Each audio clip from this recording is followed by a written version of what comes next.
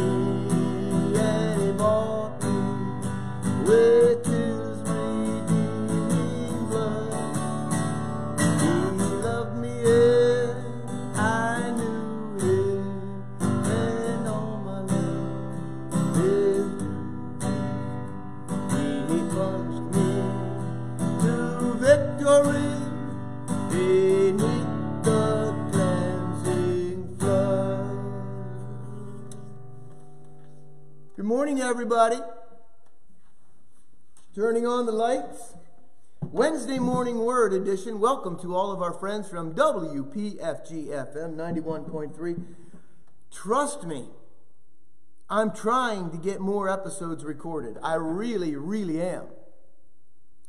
Um, you would think that in the midst of all of this craziness, hey, pastors, they just sit down and relax. no. And then yesterday, when I thought, hey, I've got a little bit of time, we've had this work team at the church ready to go. I could show it to you. There was a gigantic hole in our roof yesterday. I'm just checking out the just checking out the, feed here to see. Let me turn it down so I can see some of the comments. Um, the comments that I check, it's going out over a lot of different feeds. Good morning, everybody. Megan, Stacy, Marty, Don, Jeff, Don, Lisa. Good morning. Good morning. Good morning. Um, the, the, the excuse me. The comments that I'll check because I can only monitor one feed at a time are on Brian D. Warner. But I want you to watch, and if you want to comment, I will get to all of the comments on all of the feeds. Um, is that still too high? Right? Is that okay? Is the sound okay? Because I had to back it down. Yesterday I realized when I sung that sound blew up the Mevo mic and it was clipping it. It was clipping it, meaning it's too much, so it clips it off, and then you get blank spots. This, and that may be why people are saying, hey, the sound was cutting in and out, man. Don't want that to happen as well. Good morning. Welcome, everybody. Turning on the lights, Wednesday morning word edition. For Wednesday morning word, what we do is we are very, very intentional about getting inside the Word of God and this is when also, like I said, we welcome in all of our friends from 91.3. And uh, we just get into it. For about a half an hour now, we just want to get into it. We're going to take a look at something that I've been taking a look at as I'm, you, you, you know, as a pastor, um, I don't, don't take this the wrong way. Or, you know, I just, but when you come across Easter and Christmas, and every, every pastor, every layperson who's preached, every, as we approach this, those events and those scriptures speak for themselves. Now, to be sure, there are Old Testament prophecy, New Testament revelations, all things that you can you can um, build around that preaching. But that preaching preaches itself. I mean, Christ is risen.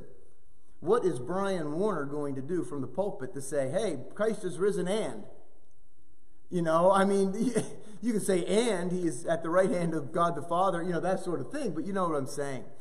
How do you how do you come across the preaching for Advent seasons and Christmas and Easter?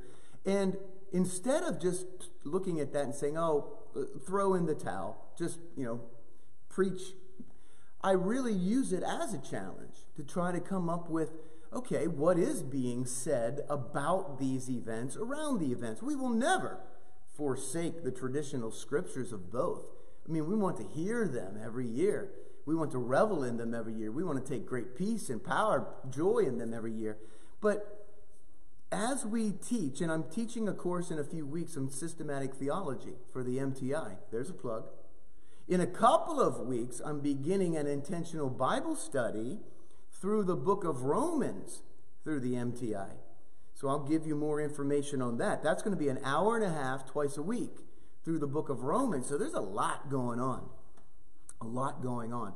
And it really is neat to be thought of as a person who is capable of doing this sort of thing. So, um, anyway, um, this is what systematic theology is all about. It's when you, we look at an event in the Bible, a scriptural event, obviously, the life, the death, the resurrection of Christ, or we look at a a, a particular piece of theology, God's redemptive nature, God's loving nature, God's that sort of thing, God's wrath for those who will not turn, that sort of thing. And you, you see it, the, you, you study the thread, you see the thread all throughout the scriptures. That's a systematic approach. So let's look at God's love from Genesis through Revelation. Whoa, 66 books covering thousands of years, and the definition really has not changed. And we can look at it here and there and everywhere. And God's love, measured with his justice, his mercy, and his wrath, boom, it's there. Like there aren't five, six different types of God in there. And that's what systematic theology does. So this is a, a little bit of that. There's a little piece of that every all throughout the year, but every Advent season and every um, Christmas season, Easter season, there's a little systematic approach. Where else is this being preached? Where else are these things being taught? So I've been looking for the Easter story in the Gospel of Luke and the you know the passion and the. Uh, uh, crucifixion and the resurrection through the Gospel of Luke. But then I turned over to First Corinthians. Right? First Corinthians, preaching resurrection. There's an amazing chapter of First Corinthians that preaches resurrection. Um, and it is tied directly to the love of God. And so I want to take a little bit of time and look at that. And we're going to look at First Corinthians Um, 15. I said 14. Man, that's the second mistake I've made this week. Can you believe it? It's only Wednesday, and I've made two mistakes. Second, three mistakes. 1 Corinthians 15. There's a beautiful gem. Now, when we study Scripture, this is one of the things that we talk about at Churchtown. When we look at Scripture, when we preach from Scripture, one of the things that we try to do is ignore all of the chapter, verses, subheadings of the Bible. Because we can get caught up in this idea, especially the way that we do education in America, is that Jesus taught classes, that he would gather for 45 minutes and teach about this, and then he would stop and then he would gather again and teach about this. And the way that the Bible is randomly divided into chapter, verse, and then the way that the um, translators uh, and editors have put in these subheadings makes us think that. So if we can get rid of those, ignore those, and see the continuum of Holy Spirit teaching in the Word of God, it really, really can be eye opening. And so we look at this as our first piece of business with this text. Let's go back to 13. And what is, what is God talking about there through Paul? Talking about the very nature of God. And we've already brought this up in, in part of our conversation. The very nature of God is, let me hear it, love. And he goes on and on and on, and he talks about even other comparative godly traits, let alone the gifts and the uh, things that I inherit as a creature. He goes through all of those, and he says, even if I could do all of those things, I'm still but a creature. I'm still but a creature. And God's very nature overwhelms my nature. There is no way, regardless of how I may be even inspired because I'm trapped in this flesh, regardless of what, how many talents or gifts or how smart I actually really am, flatlined compared to the overwhelming nature of God. Right? And, and this is what he's beginning or actually culminating to talk about. There, three things will last forever at the end of this faith, hope, and love. And the greatest of these is love. And so this is a commentary on God's very nature because it opens, right? 13 opens at the end of 12 and he says, But now let me show you a way of life that is best of all and 13 closes with three things will last forever, forever faith, hope, and love. And the greatest of these is love. So now we're getting a context for what's coming next. And the, and the teaching continues. That wasn't a class on love. As we read scripture, we got to stop viewing that, excuse me, as a class on love. Paul didn't sit down there and, by the inspiration of God's Holy Spirit, teach a class about love. Now, we're going to completely change and teach about something else. When we take this approach to Scripture, we look at the continuum of teaching. And it does it there's there's a wide variety. Sometimes it builds steadily, one concept on top of the other. Sometimes it does stop and something new begins. Sometimes it is in a chronological context where we get a period of time. And then we see day one, day two, day three, day four, and how Jesus himself, through the Gospels, taught it out. Right? So there's all of these different pericopes, all of these different individual contexts, but very rarely do we have anything just standing in isolation. Paul says, "Sit down now. It's Tuesday at 1:30. I'm going to teach you about God's love. Next Thursday is our next class, and we will be teaching about the resurrection." Nope, nope, nope, nope. Somehow, some way, those things are connected. So, good morning to everybody. I'm glad that you're here. I'm glad that you're. Um, oh, we do, Jeff. And I can't get all of the comments, like I said, but. Um, and I don't really know everybody who's watching through all of the different uh, avenues that we have there, all the different outlets. But uh, we're talking a little bit about uh, 1 Corinthians. We're talking about God. We're talking about systematic theology. We're talking about a hermeneutic. I don't want to scare anybody off. But these terms really are fancy terms for simple concepts. The hermeneutic that you use is the lens through which you're viewing the scripture. Do you want to look at it, just to name some of the superficial hermeneutics? Do you want to look at it chronologically? Do you want to look at it historically? Do you want to look at it theologically? What does it say about the nature of God? Do you want to look at it through the lens of what does it say about the nature of man?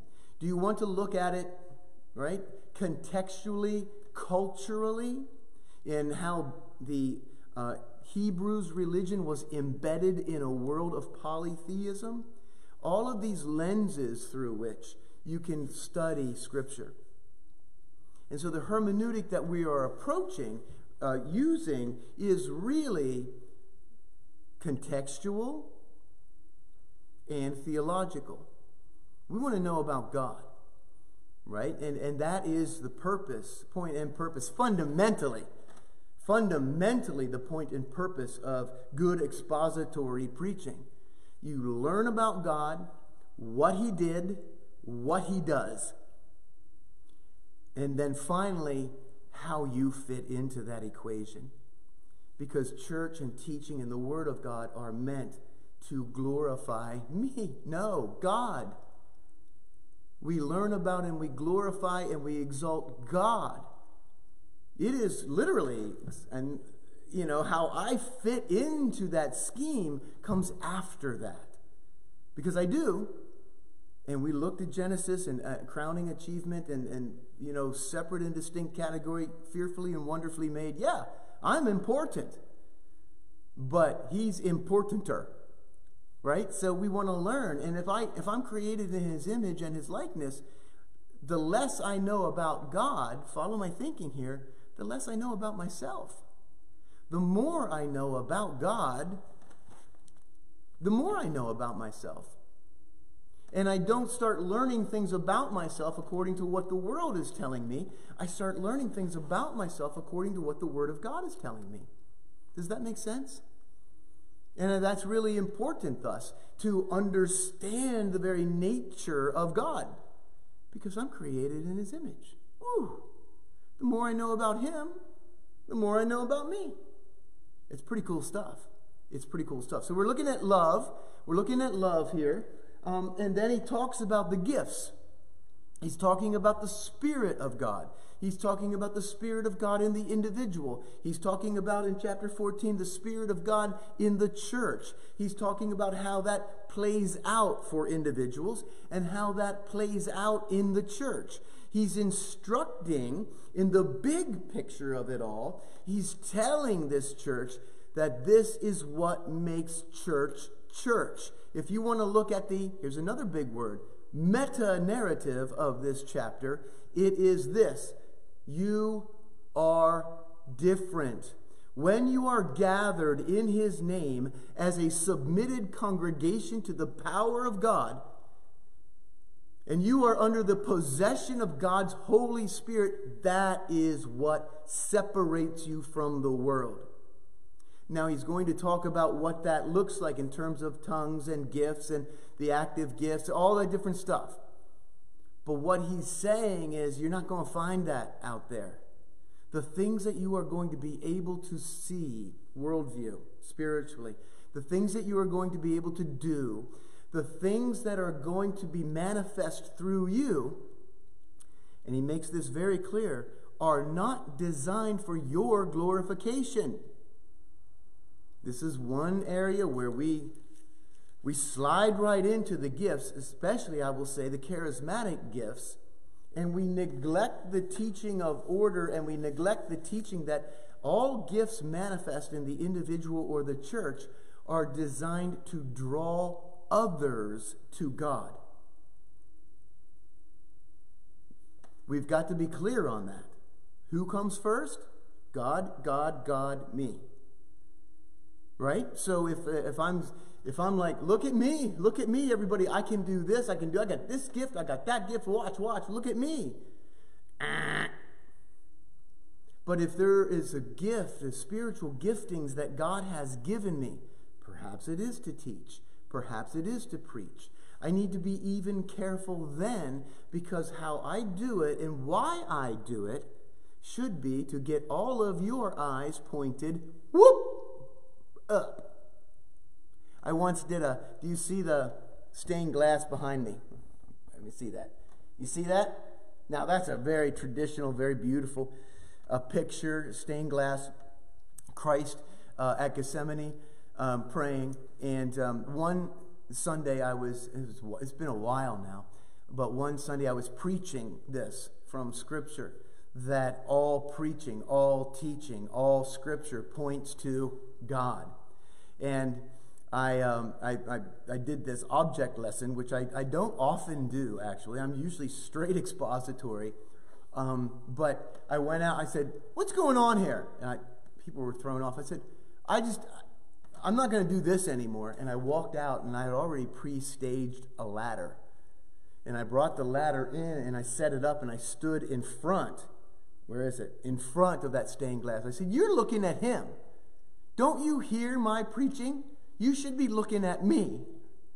Your eyes should, you know, and so I was making a counterpoint to what, you know, I was preaching, and, and I used that. I preached from the ladder for a while to really drive home the point that your scripture reading, your scripture study, the gifts of the Spirit that you may possess, all of those things, the way that we gather for church, and so much of church is to glorify the human today. Um, and the, church is meant to edify the church, one another, for the glorification of God. The more we know about Him, the more we know about ourselves. The more we know about Him, the more we know about church. The more we know about Him, the more we know about our purpose. The more we know about Him, the more we know about our image, how we are to operate in the kingdom of God and how we are to operate when we're dealing with folks outside the kingdom of God. That's really what all the letters are about. Jesus, much of Jesus' preaching is about that. Much of the teaching in the letters is how do we treat one another in the kingdom of God and how do we interact with those outside of the kingdom of God. Okay? So you see the context, you see the hermeneutic leading up to this teaching about, okay, now he's going to say, how is all of this possible? You, this is the nature of God over all of the earth. This is how the nature of God infiltrates, shall you say, on earth today. It inbreaks, it creates the kingdom of God on earth in your heart and in the church today. And it is love, man. It is love. And it is not the worldly definition of love that anything goes, love is love. Ooh, I can't stand that saying. Love is not love. If you've never heard me preach this, love is not love. Right? There is a thousand and one earthly definitions of love, and then there is God's love. And God's love says, I love you so much that I will never not tell you the truth about salvation, about sin, about repentance, about turning and casting your eyes up and submitting yourself, body, soul, and spirit, to your Creator and being indwelled by God's Holy Spirit, transforming you, transforming you, sometimes radically, transforming you into the individual that He sees. So you can get out of here with all this. Love is love, man. Why are you a hater? Not a hater. I love you so much that I have to tell you this. Because this will save your soul for now and for eternity. The church is too scared these days. We're just scared. We're just people, right? Read Romans 6, 7, 8. We're just people, and we're scared. Uh, and I say that collectively because I'm part of the church.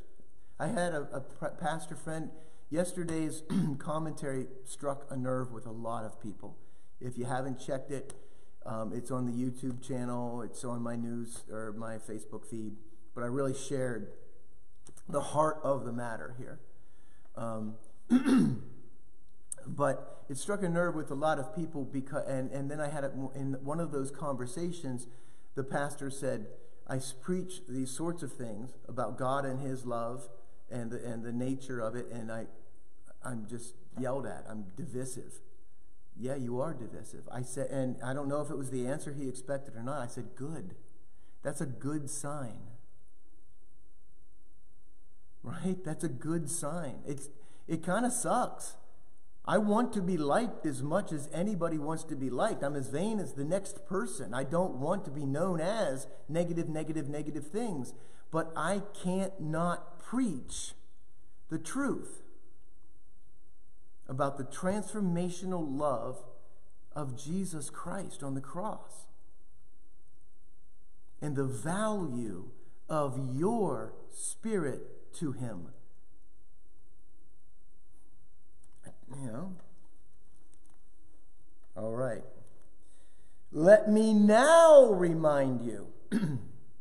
Right, talked about orderly worship, talked about the gifts, talked about how God is a God of order, even with all of these gifts active in the church. Keep all of that in mind. It's all founded on God's love, and God's love is made possible by the life and the death and the resurrection of Jesus Christ, our Lord and Savior, and the indwelling of God's Holy Spirit within us. Woo! And then he says, Let me now remind you, dear brothers and sisters, of the good news I preached to you before. you welcomed it then or before. You welcomed it then, and you still stand firm in it. It's encouraging. It is this good news that saves you if you continue to believe the message I told you, unless, of course, you believed something that was never true in the first place. And again, inside the church, outside the church, we're preaching things that are not true even in the first place. And we're, and we're standing on them. And we're, we're going to ride that train right through the gates of hell and we've we've got to be bolder than that. We have to be we have to we have to be less afraid. I passed on to you what was most important and what had also been passed on to me. Christ died for our sins. Just as the scripture said, he was buried and he was raised from the dead on the third day just as the scriptures said. He was seen by Peter and then by the twelve. After that, he was seen by more than 500 of his followers at one time, most of whom are still alive, though some have died. then he was seen by James and later by all the apostles. Last of all, as though I had been born at the wrong time, I also saw him. For I am the least of all apostles. In fact, I am not even worthy to be called an apostle after the way I persecuted God's church. But whatever I am now, it, was all, it is all because God poured out his favor upon me. Can you talk about claiming things in Scripture? How about we claim that? Can you claim that? And we talked about that yesterday as well. Can you claim what I am now? By the grace of God, I am. What I am now is simply because God poured out His love upon me. But by the grace of God, I am no longer, and every individual watching, fill in the blank, I am no longer this, that, the other thing. By the grace of God, I have been saved and, and transformed, and I walk in the Spirit of God every single day. I cherish every breath that I take, and I worship Him for showing me Him, first of all. Remember who comes first? For showing me Him, and then showing me me. it's good stuff. it's really good stuff. But whatever I am now, can we claim this as an individual? It is all because God poured out his special favor on me. Amen. And not without results, for I've worked harder than any of the other apostles, yet it was not I, but God who was working through me by his grace.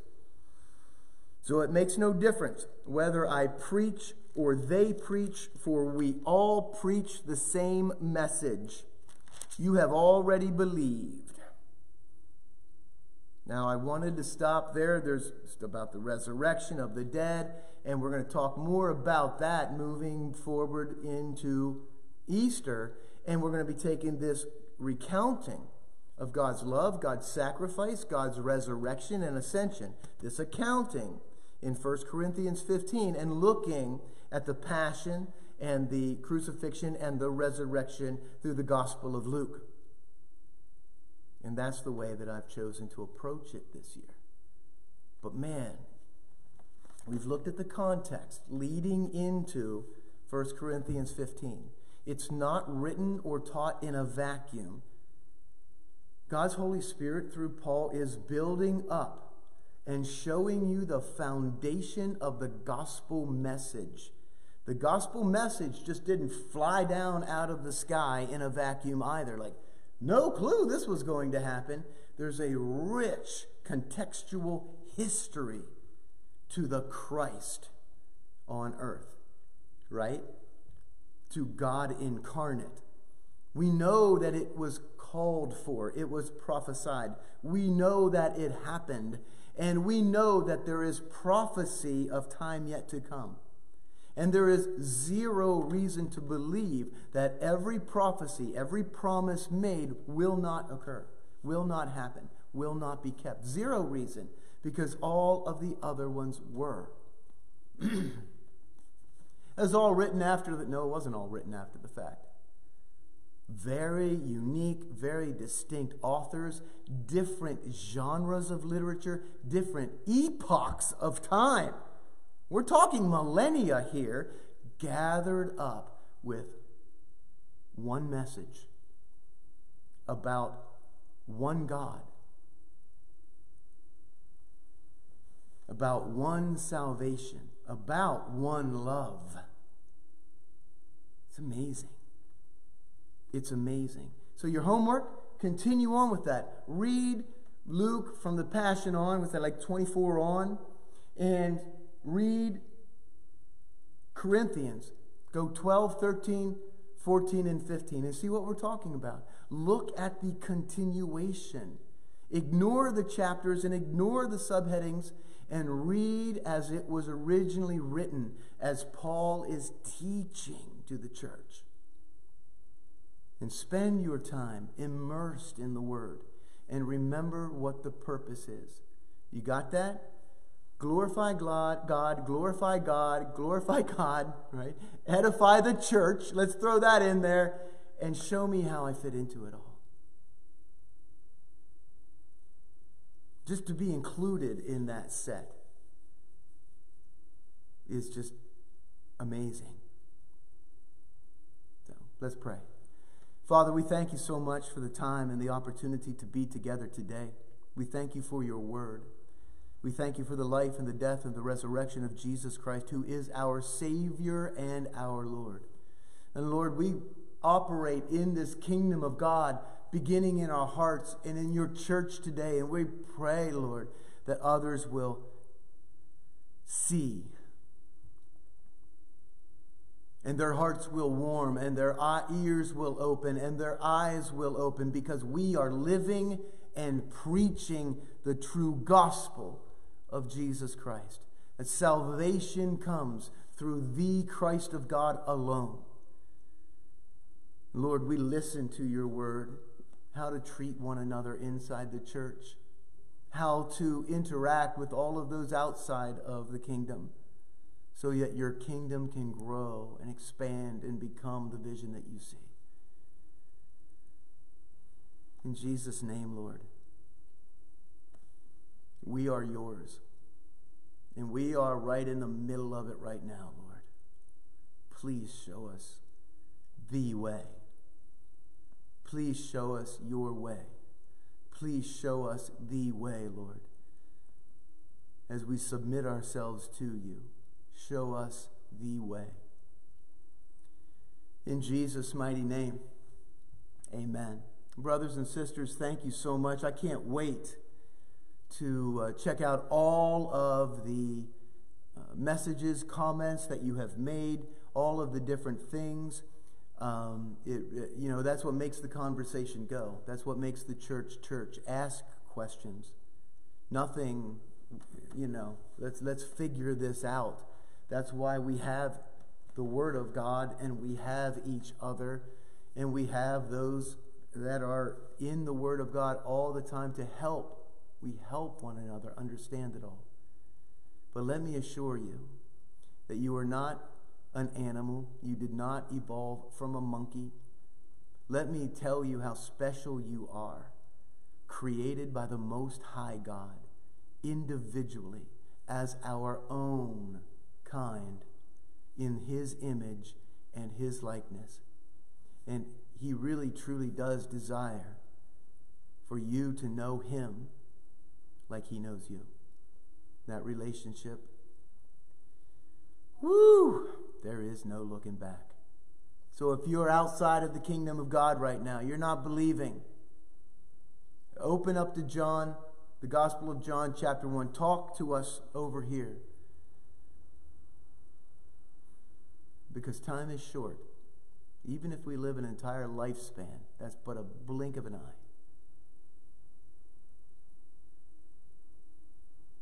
I want you to know eternity.